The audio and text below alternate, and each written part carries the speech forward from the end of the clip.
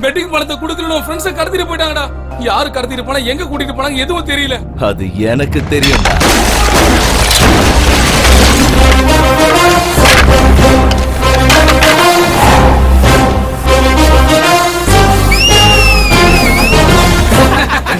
வாங்கினது பத்தலையா? விசில் அடிக்கிற? ஹீரோ வந்தா விசில் அடிப்பாங்கன்னு தெரியாதா? எங்க புலி வந்துருச்சுல பாருங்க.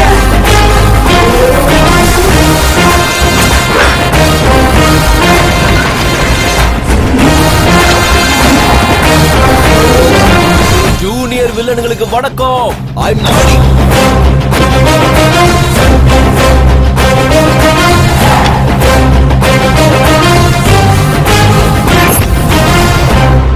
ஏய் ஒழுங்கா நீ யாருன்னு சொல்லு.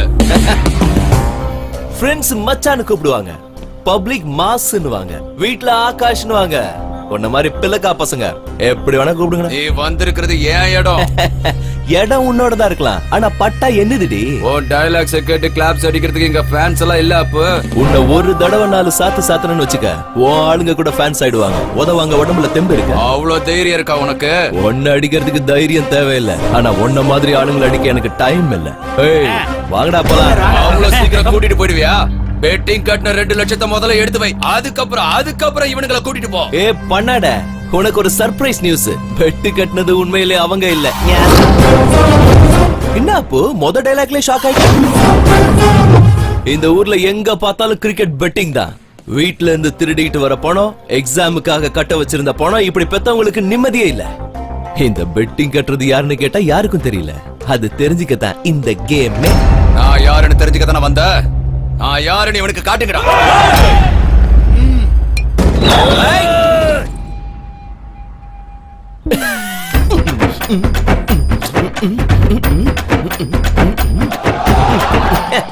Yeah!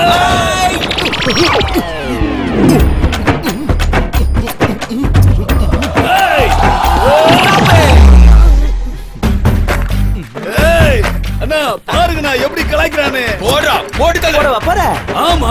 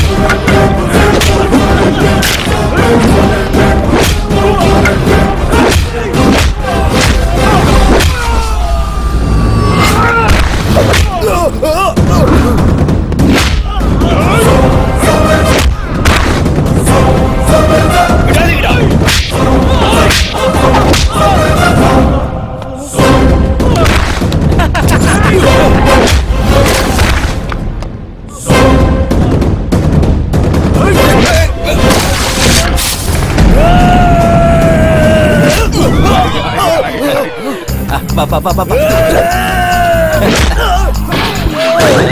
இங்க இங்க இங்க. பா, பா, பா.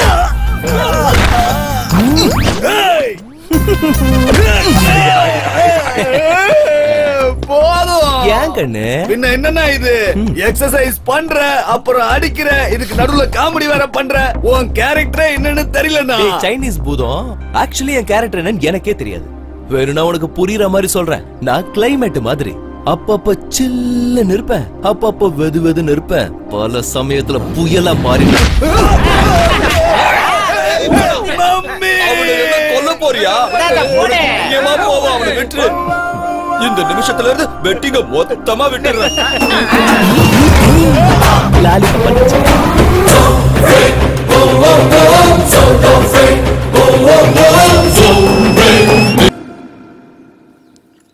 தின்றதுக்கு மட்டும் வந்துருவான். வெக்கம் மானம் ரோஷம் எதுவும் இல்ல. சனியை சீக்கிரமா செத்துருந்தா காரியத்துக்கு கறி சோறு தின்னு இருக்கலாம் பிரியாணி கமான் சீக்கிரம் ஒரு ஆம்லெட் போட்டுக்கோ. என் அன்பு சின்ன ஜோஷ். புழிஞ்சு குடிக்கிறதுக்கு கொஞ்சம் தண்ணியாவது கொடுங்க. போய் நீயே குடிச்சுக்கோ. போட்டுக்கோ புழிஞ்சுக்கோ குடிச்சுக்கோ. இவங்களுக்கு எல்லாம் இன்னைக்கு என்னாச்சு? மொத்த குடும்பமும் சேர்ந்து ஸ்ட்ரைக் பண்ணுதா? இந்த எதுக்குமா எல்லாரும் என் மேல கடுப்புல இருக்காங்க? ஏன்டா இந்த மாதிரி எல்லாம் பண்ற? எதும்மா? இப்படி ஊர்ல இருக்கிறவங்க கிட்ட எல்லாம் வம்பு இழுத்து என் மானம் போகுது. உங்களுக்கு மானம் மட்டும் தான் போகுது அத்தை. எங்க வீட்டுக்காரங்களுக்கு தலை தூக்கி நடக்க முடியல இவர் பண்ற வேலையால எட்டு கழுத வயசாகுதுல உனக்கு. கொஞ்சமாவது பொறுப்பு இருக்கா? அறிவு இருக்கா உனக்கு? ஐயோ என் செல்ல அண்ணி பத்து வருஷமா இதே திட்ட தான் வாங்குறேன் புதுசா ஏதாவது ட்ரை பண்ணுங்க. போய் யோசிங்க. வெக்கம் இல்ல உனக்கு? இப்படி சொரணையே இல்லாம சோறு திங்கிற? உன் அண்ணனுங்களை பாரு. அவனுங்களை மாதிரி கஷ்டப்பட்டு ஏதாவது வேலை செய்யலாம்ல நீ? ஆகாஷ் வேலைக்கு போட்டா அப்புறம் உங்களெல்லாம் யார் பாத்துக்கிறது? அண்ணா! அவன் யாரா எங்களை பாத்துக்கிறதுக்கு? முதல்ல அவன் அவனை பாத்துக்க சொல்லு. இதெல்லாம் சரியா வராது உன்ன வீட்ல இவர் இருக்கணும் இல்ல நாங்க இருக்கிறோம். அவ்வளவுதான். எல்லாரும் சேர்ந்து சந்தோஷமா இருக்கிறதுக்கு நான் என்ன பண்ணணும்? கல்யாணம் பண்ணணும். கல்யாணமா? இந்த ஊரை சுத்தி எந்த கேன பையன் எனக்கு பொண்ணு கொடுக்க கியூல நிக்கிறான்? ஏன் தர மாட்டாங்க? எங்க ஊர்ல நான் ஒரு பொண்ணு பாத்துருக்கிறேன். பாக்க பிலிம் ஸ்டார் மாதிரி இருப்பா. உண்மையை சொல்லுங்க. பிலிம் ஸ்டாரா அதுவும் உங்க ஊர்லயா. அப்ப மேட்ச் ஃபிக்ஸா ஒழுங்கா எங்க எல்லாரும் கூட வந்து அந்த பொண்ணை பார்க்க முடியுமா முடியாதா? முடியாதுன்னு சொல்லிடுங்கோ!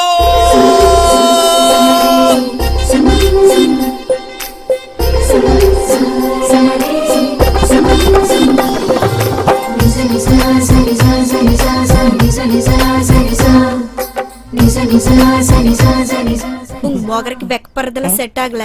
ஓவர் ஆக்டிங் பண்ணாம ஒழுங்கா அந்த பொண்ணு முகத்தை பாருங்க. அடேங்கப்பா. குடும்ப குத்து வழக்கு மாதிரி இருக்கு. சின்ன நீ நீங்க கொடுத்த பில்டப்புக்கு பொண்ணு உங்களை மாதிரியே மொக்கையா இருக்கும்னு நினைச்சேன். ஆனா சூப்பரா இருக்கு. பொண்ணுகிட்ட பையனுக்கு ஏதாவது பேசணுங்களா? அதெல்லாம் தேவையில்ல. எங்க மாப்பிளைக்கு பொண்ணு டபுள் ஓகே எனக்கு ஒரு நிமிஷம் பேச.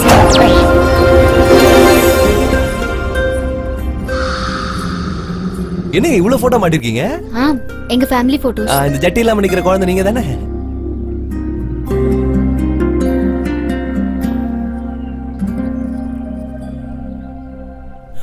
இப்போ நீங்க என்கிட்ட என்ன சொல்ல போறீங்கன்னு? ஐ நோ வெரி வெல் வர வழியில அண்ணி என்கிட்ட சொல்லிட்டு இருந்தாங்க. உங்களுக்கு ஏதோ ஆ நாகதோஷம் இருக்குன்னு. யூ டோன்ட் வரி நான் உங்களுக்கு லைஃப் ஆமா நீ யாரா எனக்கு லைஃப் தரதுக்கு எனக்கு நாகதோஷம் இல்ல. கிரியேட்டிவ் தோஷம். கிரியேட்டிவ் வாட் வாட் இல்ல. இது ஆக்சுவலா பார்த்தனா சுயம்பரம் மாதிரி. உனக்கு கிடைச்சது முட்டை. முட்டையா? ஏன்? ஒய் உன் போட்டோ எப்போவது பேப்பர்ல வந்திருக்கா? Paper no no no no அப்போ எப்போவது டிவிலயாவது வந்திருக்கியா? டிவி ஆக்சுவலி கல்யாணம் பண்ணிக்கணும்னா பேப்பர்லயும் டிவிலயும் வரணுமா? என்ன கட்டிக்கணுங்கிற ஆசை மனசுல இருந்தா வந்தே ஆகணும். இவ்ளோ அழகும் இவ்ளோ ஆஸ்தியும் இருக்கும்போது என்ன கல்யாணம் பண்ணிக்க போறவன்? ஃபேமஸான ஆளா இருக்கணும். செலிபிரிட்டியா இருக்கணும். ஊர்ல கேட்டு பாருங்க நான் கூட ஃபேமஸ் தான். எனக்கு தேவை ஊர்ல ஃபேமஸ் இல்ல. உலகம் பூரா ஃபேமஸா இருக்கும். நாங்க ரெண்டு பேரும் கல்யாணம் முடிஞ்சு வெளியில போகும்போது மக்கள் ஆட்டோகிராஃப்காகவும் செல்ஃபி எடுக்கிறதுக்கும் முட்டி மோதிக்கணும். அதை விட்டுட்டு மாசத்துல முப்பது ஒரு நாளும் ஏதாவது மொக்கையான வேலையை செஞ்சுக்கிட்டு ஒன்னாம் தேதியான சேலரிய வாங்கிக்கிட்டு ஜாக்கிரதையா பார்த்து பார்த்து செலவு பண்ணிக்கிட்டு மீதி இருக்கிறத பேங்க்ல சேர்த்து வச்சுக்கிட்டு அதுக்கப்புறம் பைக்ல போறது. இந்த மாதிரி விடிய மூஞ்சுங்க கூட குடும்பம் நடத்த என்னால முடியாது. ஒழுங்கா வேற பொண்ணை பாத்துக்கோ கொய்யால சொன்னாலும் உன்ன மாதிரி பிடாரிய கட்டிக்க அங்கிள் இந்த பக்கம் வா. இங்க நம்ம ரெண்டு பேரும் பேசினத வெளியில போய் சொன்னேன்னு வச்சுக்கோ. நாகதோஷம் இருக்கிற பொண்ண கல்யாணம் பண்ணிக்க முடியாதுன்னு சொல்லிட்டான்னு லெட்டர் எழுதி வச்சுட்டு பூச்சி மருந்து குடிச்சிட்டு தற்கொலை பண்ணிக்குவேன். பெண்களுக்கான வன்கொடுமைன்னு சொல்லி உனத்துக்கு உள்ள போட்டுருவாங்க. அக்கார்டிங் டு மை நாலேஜ் இந்த மாதிரி பிரச்சனைக்கெல்லாம் உள்ள வைக்கிறது ஆஃப்டர் மேரேஜ் தானே? ஆனா பொண்ணு கேஸ் கொடுத்தா கல்யாணம் ஆயிடுச்சா இல்லையான்னு பார்க்க மாட்டாங்க. அந்த பொண்ணு பாதிக்கப்பட்டதை மட்டும்தான் பாப்பாங்க போதும்! எனக்கு கல்யாணம் வேணாம்!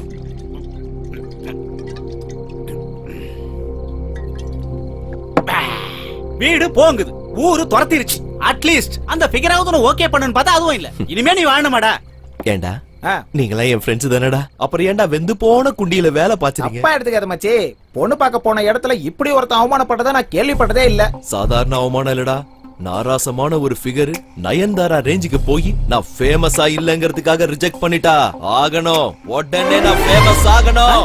அட பண்ணாட பரதேசி அதுக்கு தான் சொன்ன பிராண்ட மாத்தாதுன்னு. இப்ப பாத்தியா கண்ணா பண்ணு உளறிட்டு இருக்கான். நான் ஒண்ணு கண்ணா பின்னான்னு வளரலடா கன்ஃபார்ம் பண்ணி வளர்றேன் ஒருவேளை நாம செத்தா கூட நம்மள பத்தி கூகுள்ல நாலு பேஜ் இருக்கிற மாதிரி ஏதாவது ஒண்ணு செய்யணும்.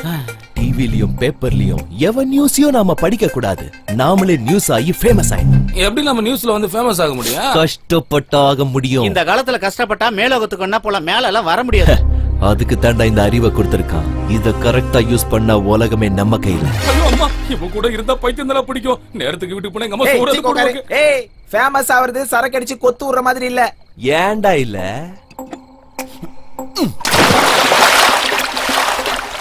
பார்த்தல அந்த சின்ன பாட்டிலே இவ்வளவு பெரிய தண்ணி அதிர வைக்க முடியும்னா ஆறடி இருக்கிற எண்ணால இந்த நாட்டையே அதிர வைக்க முடியாது?